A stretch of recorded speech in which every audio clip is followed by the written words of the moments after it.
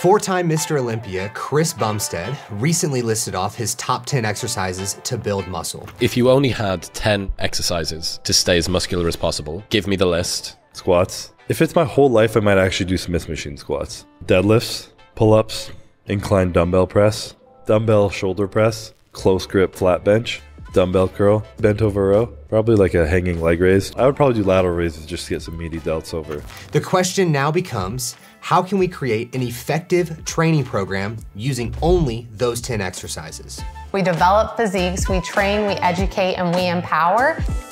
My name is Alex Bush. I am the co-owner of Physique Development and I have been working one-on-one with clients to reach their fitness goals for the last decade. I've written hundreds, if not thousands, of training programs for clients who have a fully equipped gym or just having minimal equipment. When I first heard this podcast, I thought it was a great opportunity to provide a resource for individuals who only have a barbell, a bench, dumbbells, and a rack that still want to build muscle. The first link in the description is a free three day training program using these 10 exercises for you to build muscle. Now, I'm not here to debate if Chris was right or wrong in the exercises that he selected.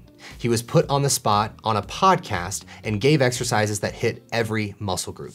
The first exercise was squats and specifically the Smith machine squat because it feels good for Chris's knees. And if you feel the same way, keep doing your thing. The other option would be the barbell back squat. And if you don't feel comfortable with the barbell back squat, maybe you utilize the dumbbell goblet squat.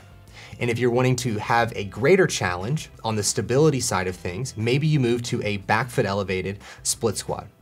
All of these exercises are going to be targeting the adductors, the quads, the glutes, and your core throughout each of the movement patterns. And so you're getting a lot of bang for your buck when performing this movement. The second exercise was the conventional deadlift. Other variations that you could use here would be the bent knee RDL, utilizing dumbbells, a barbell, the trap bar, or even kettlebells, whatever is most comfortable to you and is available at your gym. This is going to be targeting the glutes, the hamstrings, the lower back, your core, as well as your adductors are doing a little bit in there as well. So again, a lot of bang for your buck with this exercise. The third exercise is a neutral grip pull-up. And there's not a great variation to this exercise when we only have a barbell, a bench, a rack, and some dumbbells. But if you do have cables available to you at your gym, go ahead and perform a neutral grip pull down. And if you don't feel comfortable with the pull-up or feel as though that you cannot get a rep at your current body mass, what you could do is utilize a band under your feet to have some support, or if your gym has the supported pull-up machine, you could also do that.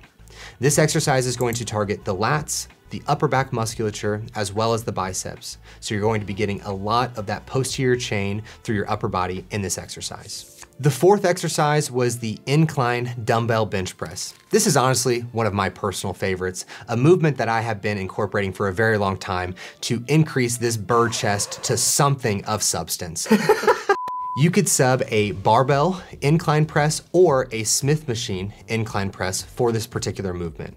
This is going to be targeting the upper portion of the chest. It's going to be targeting a little bit of the triceps and a little bit of the delts.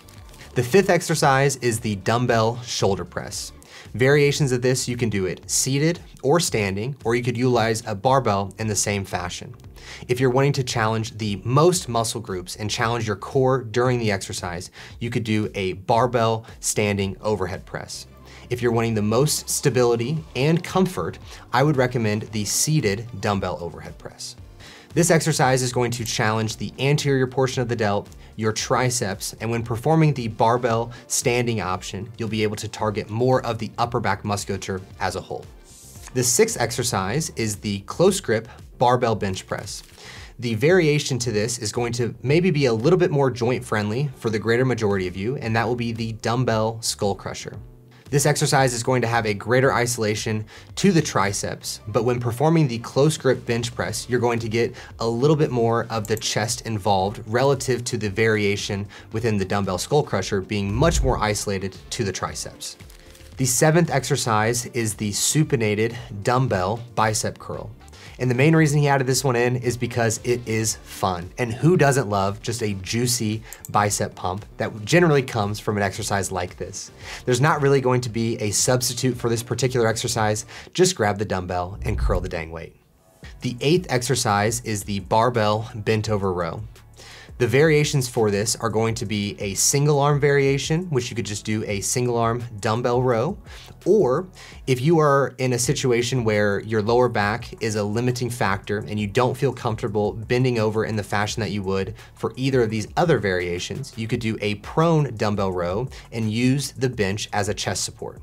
This exercise is going to be targeting the upper back musculature. It's going to be targeting a portion of the lats, the rear delts, and your biceps. The ninth exercise may be the very exercise as to why Chris is your girlfriend's favorite bodybuilder. That exercise is the hanging leg raise. This is a very hard movement. And with the variations, they're actually regressions to that particular exercise. And so the first regression is going to be performing a Garhammer crunch on a decline bench. And if you don't feel comfortable there, you can put the bench to a flat setting and still perform the Garhammer crunch and target your core in a very similar fashion.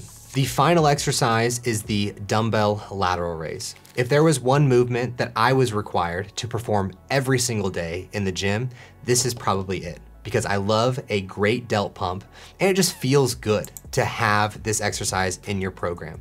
In terms of variations, you may find yourself in a situation where when performing this exercise, you don't feel a lot of your medial delt and you may feel a lot of your traps taking over.